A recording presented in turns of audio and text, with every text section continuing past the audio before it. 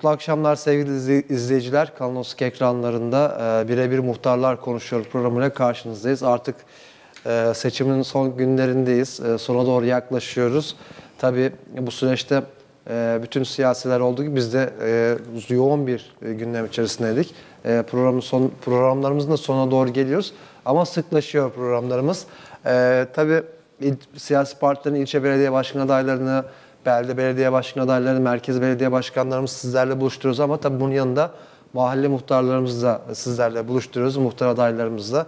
Tabii e, demokrasinin şölenini yaşıyoruz gerçekten. E, bazen hani konuşuruz muhtarlarımız geldiğinde, işte muhtarlık dışarıdan böyle kolaymış gibi gözükür ama hakikaten zor bir görev. Yani hakikaten e, devletle millet arasında köprüsün. Aynı zamanda e, daha önce de ben hep bunu söylüyorum. Mahallede birisi aç yatıyorsa bence tamam o şehrin belediye başkanının tabii herkesin sorumluluğu var ama o mahalledeki muhtarının bence en önemli sorunu diyebilirim. Ben öyle söylüyorum şahsen. E, bugün de Isparta'nın gerçekten e, eski mahallelerinde olmasına rağmen bu dönem hakikaten damgasını vurmuş isimlerden birisi. Hakikaten çok başarılı bir e, muhtarlık yapıyor. Ben e, bizzat şahit oluyorum. Çoğu zaman da birlikte oluyoruz. E, Doğancı Mahallesi muhtarı ve yeni dönemde de yine muhtar adayı Ali Divarcı bizlerle birlikte. 5 yıl içerisinde bunun 2,5 yılı pandemi gerçi de e, iki buçuk yıl hizmet yapma şansları buldular bu dönemdeki yerel yöneticiler. Hakikaten çok güzel çalışmalar imza attılar. E, muhtarlarımız bu dönem birlik beraberliği de çok üst seviyedeydi. E, ben öncelikle Ali Divarcı hoş geldiniz. Hoş bulduk. Hayırlı akşamlar diliyorum. Evet. E, muhtarlık zor zanaat. Değil mi? Gerçekten. Yani içine girmeyince kimse bunu bilemez. Ben de yani muhtar olana kadar böyle bu kadar zor bir iş olduğunu bilmiyordum gerçekten İsmail Bey. Zor bir iş ama e, Gönülden. gönülden yani isteyerek içinden gelecek biraz. Yani şimdi diyorlar ki parası için parası için falan yapılacak Vallahi bir şey ben hep söylüyorum, iki katını harcıyorlar. Gerçekten yani bugün 17 bin lira şu iki, bir aydır iki aydır para veriyorlar da yani ödenek veriliyor aslında muhtar ödeneği. Bu 17 bin liranın daha üstünde paralar harcıyoruz gerçekten. Çünkü şöyle diyeyim benim kendimden örnek vereyim. Mahallemde bir sent pazarı var. Pazartesi günleri kuruluyor. Sabah geliyorum kapıyı açıyorum. İnanın ki şöyle ilk gelen e, kadın e, abi işte muhtarım veya kardeşim yani bugün var mı şu kadar durumum yok veya eşim bırakmadı akşam üzeri vereyim. Bu şekilde ilk böyle başlıyoruz. Yani. Pazartesi gün hafta böyle başlıyor. O yüzden bu parayla pulla yapılacak bir iş değil gerçekten zor iş. Evde ailenize vakit harcayacağınız vakitten fedakarlık ediyorsunuz. Dışarıda kendi özel hayatınızdan fedakarlık ediyorsunuz. Ama eee, güzel yönleri de var. Karşılığında böyle bir Allah razı olsun deyip böyle güler yüzüyle gerçekten gözünüze bakarak bir Allah razı olsun dediği zaman diyorsun ki ya ben bunu yaptığıma iyi ki yapmışım. Bununla En güzel yanı ne o en değil mi? güzel yanı bu. evet. Her şey bu yani. Evet. Ee, şimdi muhtarımızı da çok fazla süresinden almak istemiyorum. Mahallede tabii yapılanlar var, yapılacak olan çalışmalar da var. Onları e, konuşmak istiyoruz bugün. Ee, ben şuradan başlayayım. Hani her mahalleye değil de bazı mahalleler yapıldı yaşlı vatandaş için. Ee, Doğancı Mahallesi'nde var herhalde bir fatura ödeme noktası. Evet, Gelir Müdürlüğü'nün, Isparta Belediyesi Gelir Müdürlüğü'nün bir fatura ödeme noktası var. Ee, bunun bir tanesi de bizim mahallemizde. Ee, Dere, Yenice, Keçici, Hızır Bey bu bölgeye hitap edecek şekilde. Biliyorsunuz yaşlı kesim artık internet üzerinden çoğu kişi Yapamıyor. yapamıyor. Yani banka üzerinden ödeme yapamıyor. Çarşıya da inip çıkmasına zorlanan kişiler bizim merkez olarak bizim orayı seçti. Belediye başkanımız sağ olsun. Oraya bir ödeme noktası koydu. Ee, güzel de işlem yapıyorlar. Kullanılıyor. Kullanılıyor. Aktif olarak da kullanılıyor. Gayet iyi oldu. İyi oldu yani. Seviniyoruz bu konuda. Evet. Şimdi Doğancı, Yenice o bölgede özellikle derede e, doğal gaz sıkıntısı vardı bazı evler. E, Sayın Belediye Başkanı hatta o zaman da hatırlıyorsunuz yani girilmiyor. Ne demek girilmiyor? Gerekirse helikopterle girin doğalgazı bağlayın demişti. Hiç unutmadığımız bir cümleydi o. Şükrü Başteğmen cümlesi. Şimdi doğalgaz, e, o girmeyen evler vardı. Yine girmeyenler vardı. O süreci anlatalım. Seçimden sonra zaten girmeyenler bir yapıldı. Evet benim son iki evim kalmıştı. Ee, son iki evim de şöyle. Bir adada 18 uygulanması gerekiyordu. Bu evin yolu yoktu. iki evin yolu yoktu. Evet. Bundan geçen ay 18 uygulaması bitti. Ve 20 gün önce falan yolunu açtık. Geçen hafta da doğalgazını bağlantısını yaptık.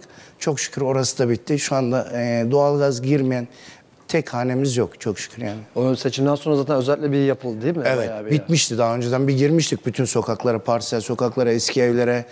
Ee, bunların hepsini bitirmiştik ama son iki tane bir evimiz kalmıştı. Kenarda kalan bu Gökçay piknik park alanının alt tarafında kalan bir evimiz vardı. Onu da verdik çok şükür. Artık Doğancı'da an doğa, doğalgazsız ev yok. Doğancı, Yenice, Dereci, bu Doğancı. Dere Mahallesi bu bölgelerde doğalgazsız ev yok. Evet. Yani güzel bir şey doğalgaz özel tabii yaşlı olanlar için özel kadınlar Evet. için yani soba taşıyorlardı sıcak su Evet, değil mi? Yani, e, zor Kova doldurmak çok büyük sorun. Değil mi? Yaşlılar. Evet, yaşlılar da özellikle genç birisi yoksa o kova, dolu kovayı kaldırıp sobanın içine koyması çok zamanda çok soba yaktık. O yüzden bunları biliyoruz yani. Evet. Evet. Ee, şimdi doğalgazda asfalt çalışmaları da oldu. Tabii altyapıdan gidelim gelmiş. Aklıma geldikçe soruyorum hep böyle. Evet. Doğancı Mahallesi'ndeki o bölgedeki muhtarlarımız hep e, böyle sohbet ettiğim için o konularda vakıfız o bölgede. E, asfalt da yapıldı. Güzel e, asfaltlar da yapıldı. Evet. Şu anda e, önümüzdeki asfalt sezonunda yeni bir bu en son yapılacak olan yer Andık Deresi'ni biliyorsunuz artık. Dere Mahallesi'nin Andık Deresi şelalenin olduğu yer çok güzel bir yer oldu.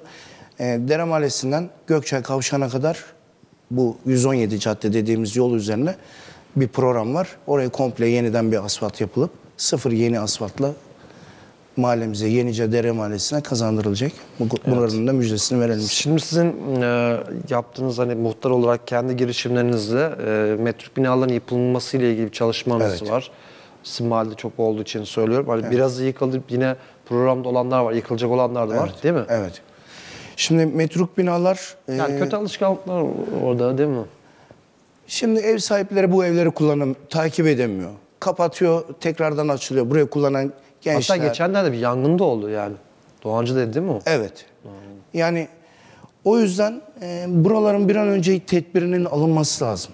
Yeni bir kanunla bu 39. madde dediğimiz bir maddeye dayanarak e, muvaffakat verilmeyen yerler veyahut da sahibine ulaşılmayan yerleri şimdi e, şehirler hariç, anıtlar kuruluna bağlı olan tarihi eserler hariç. Bunlara dokunamıyoruz biliyorsunuz. Onların özel izinleri var. İzinler çıktıktan sonra da onlar eğer müsaade edilirse o şekilde metruk kalan binalarında son iki binam var. En yakın zamanda inşallah belediyede o konuda bir çalışması var. Orası da en yakın zamanda temizlenir. Maalesef. Evet, abi yani kötü alışkanlıklar oluyor. İşte geçen Doğancı'da yangın çıktı çok büyük. Allah muhafaza diğer evleri sıçramadan önlendi ama yani sıçrası daha kötü. Evet.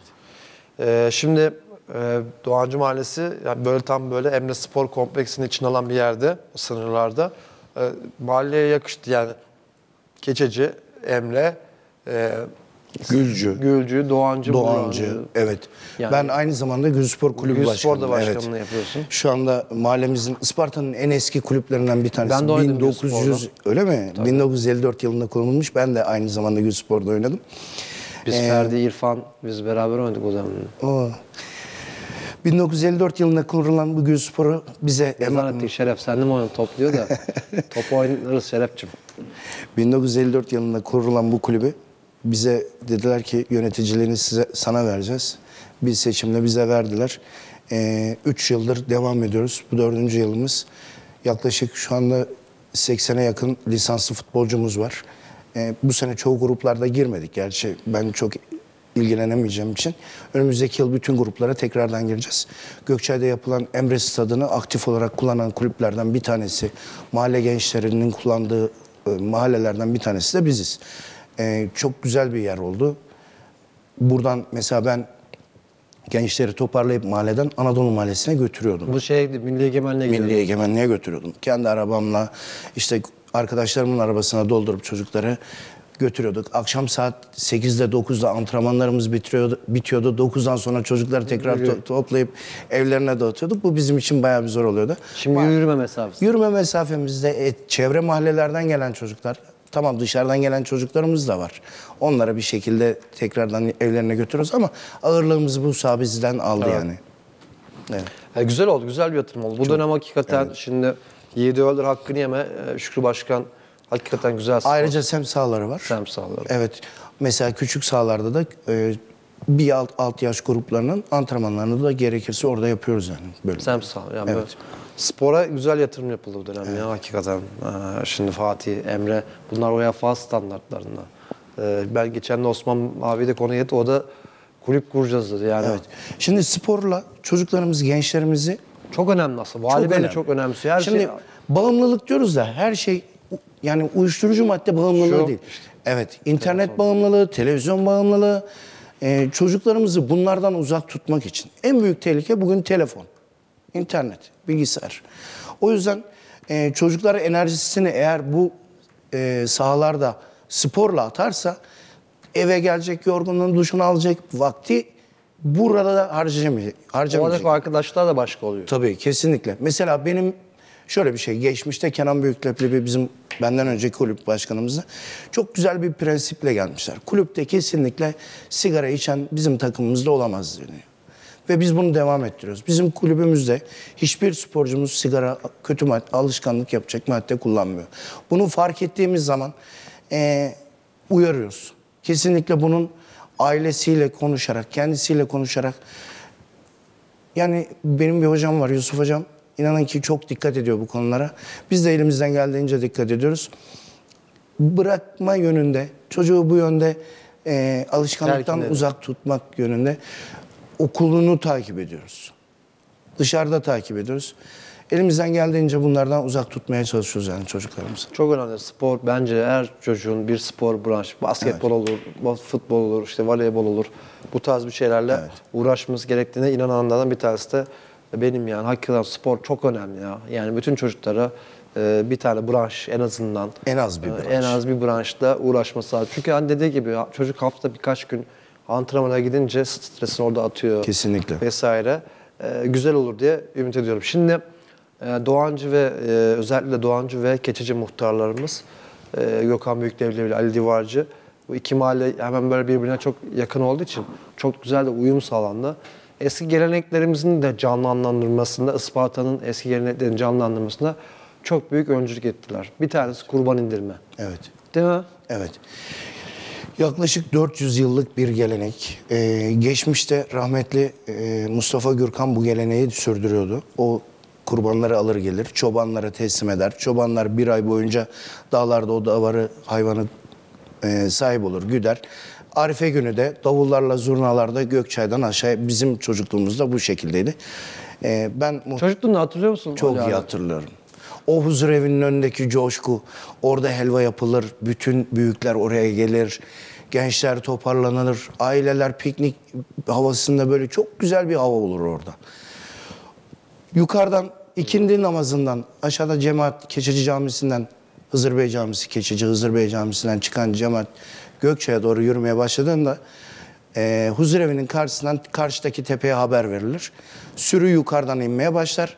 Aşağıda gençler tüfekler atarak Davul davulla, zurnayla, tekbirle yukarıdan iner Doğancı Mahallesi'nden Keçici Mahallesi'ndeki Gaz Sokağı'na sokulur. Hayvanları orada sahipleri zaten belirlidir. Ya işaret vardır ya numara vardır. Herkes hayvanını alır. Çocukların o sevinci, büyüklerin o sevinci kurbana kurban karşılama. Kurban indirme değil, kurban karşılama. Yani kurban arifesinde kurbanı karşılama programı. Çok güzel günlerdi. Mesela Şeker Bayramı. Caminin önünde gençler toplanır. Biz hala devam ettiriyoruz. Sağ olsun başkanım da katılıyor. O şakşak helvalar eski. Şakşak helvaları biz dağıtmaya, elimizden geldiğince dağıtmaya Onu devam ediyoruz. Geçen de Ramazan e, kandil değil mi? Kandillerde kandillerde. yapılmış. Kandillerde yapılmış. Geçen kandille de Başkan Bey'e de dağıttınız herhalde değil mi? Evet, geçen sene de katıldı tekrar aynı şekilde. Çünkü Başkan Bey de bizim mahalle olduğu için Evet. o civar onları Deneye o anıları yaşıyor aynı şekilde. Evet deneye yenince aynı gelenekler, aynı adetler devam ediyor. Güzel oluyor Kurban çocuklarımıza. indirme bu yıl da yaptık. Önüm- Yani bu yıl da yapacak mıyız? Yapacağız Geçen inşallah. sene yaptık. İnşallah yapacağız. Yine devam. Devam. Devam. Kurban indirme, kurban karşılama. e, hakikaten Kandil gecelerinde e, bizde şöyledir. Mesela bugün bir helva yaparız. Helvanın maliyeti der ki birisi ben hepsini ben veririm. Yok öyle bir şey. Burada imece usulü. Herkesin bir katkısı olacak Bir ki çorba tuzu. bir emeği olacak. Yani bir çorbada bir tuz olacak. Kimisi e, 10 lira verir, kimi 50 verir, Aynen, aynen. 100 O hava orada olacak, o coşku. Onun akşam üzeri ikindi namazından sonra dağıtımı tekrardan. Kandil gecesini, mübarek günleri bu şekilde karşılamaya devam ediyoruz yine. Aynı şekilde de devam ettiriyoruz yani. Valla güzel bir gelenek yani inşallah e, bizden sonraki nesiller de bunu devam ettirir. Yani İsmail Bey şimdi şöyle diyeyim. Mahalle 2000 nüfusum var benim. Doğancı Mahallesi'nin 2000 nüfusu var. yine bir ilçe gibi ya. 2000 nüfusu ben şimdi doğma büyüme bu mahalleliyim. Hepsini tanıyorsun. Yaşım 45. Ondan sonra ulaşabildiğim dedemin dedesine kadar bu mahalleli. Mesela bize derler ki Doğancı Mahallesi'nde lakap vardır bizde. Duvarcılar. İşte kulaksızlar babaanne tarafı. Şimdi çıktığımızda, sokağa çıktığımızda bizde şey var, samimiyet. Eski çok böyle apartman yok. Mesela benim bir tane büyük apartmanım var. İkincisi yanında biraz daha küçüğü. Bir tane büyük apartmanım var. Orada da yaklaşık 15 daire falan büyüklüğünde bir daire var. Onun haricinde öyle çok böyle apartmanlı bir mahalle değiliz. Keçici'de en fazla evet, ikisi. 2 3 katlı, bozulmayan, eski. Şimdi çıktığımızda Ayşe abla ne yapıyorsun? Ahmet abi, Osman amca. Bizde samimiyet bu. O Ali gel bakalım bir çay iç kapının önünde. Bu ortam çok güzel. Bizim mahallemizdeki güzellik bu. Ee, biliyorsunuz önümüzde bir ben atlıyorum hemen de. Mahallemizin sınırında, Keçici Mahalle sınırlarında eski devlet hastanesinin olduğu yere bir üniversite yapılıyor. Evet evet. Çok Üniversite. önemli. Çok önemli bir mahalle içinde. O civardaki mahalleler için çok önemli. Yani Keçici, Turan, Hızırbey, Yayla, Doğancı bu bölgelerde. Tabii biz eski mahalle olduğumuz için bu az önce de bahsettiğimiz evlerimiz metruk duruma düşen yerler var. Çünkü e, hastaneye gittikten sonra bazı evler kullanılmadı, oturulmadı. Oturulmayınca da eski evler yıkılmaya yüz tuttu. Şimdi yeni bir imar revizyonu var. Bir bölümü bitti, yeni te- tekrardan bir bölümü daha var. İnşallah bu imar revizyonunda geçerse bu eski kısımlar biraz daha toparlanır. İnşallah üniversite geldikten sonra çok böyle mahallemizin kültürünü bozmadan ama genç nüfusu da kucaklayabileceğimiz güzel bir mahallede güzel bir ortam sağlamak için elimizden geleni yapmaya hazırız yani önümüzdeki dönemde. O da hem sizin o taraf için hem diğer mahalle için işte Hızır Bey'dir, işte Gelince, Doğancı, Dere Evet. bu taraflar için e, güzel bir e, şey olacak, ambiyans katacak Isparta Kesinlikle. Üniversitesi. e, Kesinlikle. Üniversitesi olan bir mahalle olacak. Güzel yani hani inşallah o bo- bozulmaz. Yani birçok mahallede şimdi çok güzel bir konuya girdiniz aslında. E, sitelerde karşı komşunuz bilmiyorsunuz. Yani. Evet. Yani. Ee, şimdi karşı komşunuzu bilmiyorsunuz. O da çok kötü bir şey yani. Adamın çocuğu olmuş. Babası ölmüş, annesi ölmüş. Karşı komşu olarak bilmiyorsun. Evet. Öyle bir durumdayız. Şimdi 600 haneyiz. Ben isim isim isim olarak 450-500 hanenin isim isim olarak bilirim yani. Tabii canım orada Yani yaşadınız. bu ev kimin, bu ev, şu ev, bu oturuyor. Yani o bilemediğim 100-150 de yeni kiracıdır veya Başka bir şeydir. evet yeni gelmiştir öyle biliyorum. Şimdi e, programda git- akıyor böyle ko- keyifli sohbet havasında olduğu için. E, şimdi ben e, muhtarlık hani programın başında söyledim zor bir iş falan dedik. Aslında dedik muhtarlık e, böyle hani e, dedik ya birisi aç yeterken e, bunun sorumlusu muhtardır dedik. Çok güzel dokunuşlar oluyor muhtarlarımızın. Ben birkaç programda örnek olarak ifade etmiştim. E, Doğancı muhtarımız Ali Divarcı'yı örnek olarak göstermiştim. Hikayeyi bildiğim için e, örnek olarak gösterdik. Yanlış anlaşmasın. E, güzel bir e, anısı var aslında. Muhtarların e, böyle özünü anlatan bir şey. E, bunu Gökhan Büyükdeblevi de her gittiği platformda Muhtarlar Dernek Başkanı olması bile muhtarlığın önemini vurgulamak için her gittiği platformda da anlatır. Aslında hani ben anlattım birkaç kez böyle yarım yamalak anlattım evet ama programlarda sizi sen de takip ediyorum, izledim evet. evet. Yani senden dinlemek isteriz. Bir kız çocuğumuzla ilgili onu da söyleyeyim. Şimdi kendisinden dinleyeceğiz. Şimdi parçalanmış bir aile. Anne baba ayrı. Kız çocuğumuz o gün için babada. Tabii bir babada da kalıyor, annede de kalıyor. Ee, gençlik, ateş içinde bir heyecan şey var kız çocuğumuzun. Tabii bu hareketten dolayı okulda durmuyor fazla. Okula gitmek istemiyor.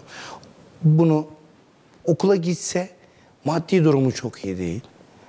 Bir yönden de o sıkıntı var. Okuldan bir konuşma esasında o çocuğun okula gitmediğini öğrendim. Okula gittim sebebini sordum. Görüştük müdür beyle. Dedi ki gelmiyor işte gelmek istemiyor herhalde. Başka bir okula mı nakil olmak istiyor bir araştırayım falan diye. Hemen çocuğa gittim. Aldım. Kızım derdin ne? İşte konuştuk biraz. Bak dedim ki zamanında biz işte ekonomik şartlardan dolayı biz de okumakta çok zorlandık. Birazcık gönlünü aldım. Dedi ki ben dedi işte annemle babamın arasında kalıyorum. Ekonomik zorluklarım var. Ben çantam yok, kitabım yok, defterim yok. Sağ olsun hemen eee, gerekli yerler kitabını, defterini hemen temin ettiler. Dedim ki ben senin bütün şeylerini karşılayacağım. Sorun yok bu konuda.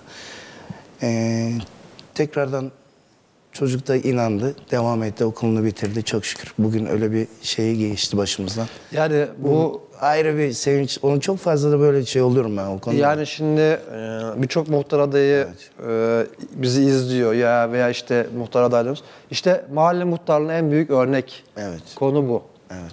Yani muhtarlık bu bence. Şimdi şöyle diyeyim.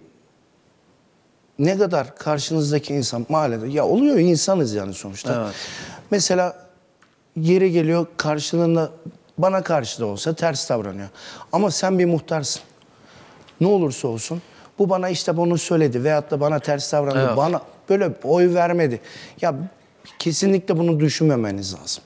Yani oy karşılığında veyahut da e, karşıdakinin davranışı hakkında ona karşı yargılı olamazsın.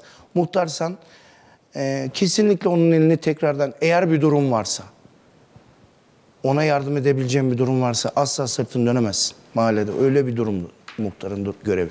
Evet kolay e, Zor değil, iş. zor iş. Şimdi ben şeyi soracağım, merak ediyorum. E, Zaman zaman şu anda mevcut muhtarlarımıza soruyorum. Çünkü o kadar çok insanla, o kadar çok olayla karşılaşıyorlar ki yani. Ya, böyle hani sohbet havasında anlatıyorlar bana. Ben böyle muhtarlarla çok yakın çalışan bir gazeteciyim. Evet. Bazen anlatıyorlar, şaşırırım yani. Aa falan derim. E, bu dönemde böyle Ali Divarcı'ya da sormak istiyorum. Hep de Ali abi buluyor böyle şeyler de. Yani hani etkilendiğin e, şey nedir? En etkilendiğin şey 5 yıllık süreçte. Biliyorsunuz bir Covid dönemi atlattık. Ya onlara hiç girmedim Evet, yani. şimdi- Covid döneminde evet. yaptıklarınızı o elektrik Covid falan. döneminde evet gerçi elektrikler gittiğinde evet. Covid dönemi çok zor dönemdi. Bugün herkes aynı şey ama muhtarlar ayrı bir. Biz Çok mükemmel Isparta- çalıştılar. Ee, bizim derneğimiz biliyorsunuz Gökhan'ın organizasyonunda, Gökhan Büyükleblebi'nin organizasyonunda gerçekten birliğimiz çok güzel bir birlik sağladık. Yani bugün herhangi bir şey olduğu zaman bir anda birbirimize haberleşiyoruz. Deprem oluyor, muhtarlar birleşiyor, öncülük Çok- ediyor. evet. Pandemide Aynen. e, yaşların maaş alındı, eczaneden ilacı çekildi, ekmek dağıtan oldu. Aynen, aynen. Ee, sağ olsun Gökhan da bu işi gerçekten layıkıyla yapıyor.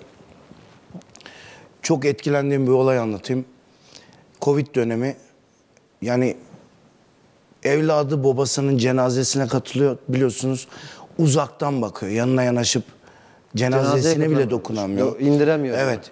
Yaklaşık ben 5 yılda bizim biliyorsunuz mahallemizde Doğancı mezarlığı var ayrıyeten. Mezarlığa da yakın olduğumuz yani bütün cenazelerden de kalmamaya çalışıyorum ben 5 yıl için. Yaklaşık 250-300 cenazeye katılmışımdır bu arada. Ee, dediğim gibi babası oğlunun cenazesinden kaçıyor. Oğlu babasının cenazesinden kaçıyor. O dönemde bizde filyasyon görevi olduğu için hastaları ziyaret ediyoruz falan. Bir tane cenaze var. Ee, bir ismini vermeyeyim. Cenaze bütün şeyi yaptım. Ee, organizasyonu, hocayı. Çünkü o arada herkes belediyeyle, te- e, mezarlık işleri müdürlüğüyle her şeyi organize yaptık. Cenaze namazı kılınacak. Tabi o zaman camilerde de kılamıyoruz cenazeyi. Ee, Doğancı mezarlığında bir yerimiz var. Orada cenaze namazı kılacağız. Hoca geçti. Benim için çok acı bir durum. Hoca döndü arkasında bir tek ben varım. Beş tane belediye personeli var. E, gömmek için hazırlandılar. Onlar tabii o zaman cenazeyi çok fazla tabutları elleyemiyoruz, şey yapıyoruz. Belediye personelleri o zaman çok ve yani fedakarca çalıştılar. Canlarını tehlik... Çünkü bilmiyoruz hastalığın nasıl bulaştığı. Yani nereden- hocayla bir tek siz kılırız. Hoca evet cenaze tek başıma cenaze namazı kıldım. O beni gerçekten çok Pandemide değil mi? Pandemi dönemiydi. Neler çok büyük yaşadık ya. etkileyen bir şeydi. Evet. Hatırladıkça hala da yani şöyle e, insan hani deriz ya düğünde cenazede dostunu düşmanını o zaman görür diye. Ne kadar istese de cenazeye katılmayı belki korkuyla belki hastalıktan dolayı çekindiğinden dolayı tek başıma bir cenaze kıldım. O Etkiledi. Beni gerçekten çok etkilemiştir. Evet, e, Ali Divarcı'yla keyif, sohbet keyifli oluyordu. Süremiz de oldu. Yani Öyle mi? Çok çabuk vakit Vallahi geçti. ben de anlamadım. Böyle Evet. sohbet ediyorken geçti gitti böyle. Evet. E, ben işte biz otururuz bazen de. Yani çok çabuk bazen ben gidiyorum diyorum nereye gidiyorsun diyor. Yani işimiz var falan. E, sohbet ediyoruz. Evet. Çok keyifli oluyor. Ali abi sana başarılar diliyorum. Teşekkür ederim. Ben E, hakikaten e, bu dönemde muhtarlığın hakkını veren isimlerden bir tanesisin. Allah razı Allah yolunu bahtını açık etsin Amin, inşallah. inşallah. Amin. E, son bir cümle böyle alalım bitirelim. Ee, herkesin Ramazanı mübarek olsun. Hayırlı iftarlar diliyorum. Ee, 31 Mart seçimlerinde aday olan tüm muhtar arkadaşlarıma, belediye başkan adaylarına, belediye meclis üyelerine, il genel meclis üyelerine hepsine başarılar diliyorum. Güzel kardeşlik ortamında bir seçim geçmesini diliyorum. Kimse kimseye yar bu Ispartalıyız. Küçük yer Isparta. Çıktık mı bugün burada bir şey söylesek e, yarın çıktığımızda yüz yüze bakacağız. Güzel bir ortamda geçmesini diliyorum. İnşallah. E, kazasız belasız e, hayırlı iftarlar diliyorum. Hayırlı akşamlar. Çok sağ ol. Ayağınız sağlık Sayın Ali Divarcı. Evet sevgili izleyiciler Doğamcı Mahallesi Muhtarı ve yeni dönem muhtar adayı Ali Divarcı bizlerle dedi. Keyifli bir sohbet yaptık. Her zaman zaten sohbeti keyiflidir Ali Divarcı'nın. Ee, Isparta hakikaten güzel muhtar yapan isimlerden bir tanesi. Biz şahidiz gerçekten. E, yeni dönemde de kendisine başarılar diliyoruz. Ben şimdilik iyi akşamlar diyorum. Birazdan yine birebir başkanlar konuşuyorlar. Karşınızda olacağız.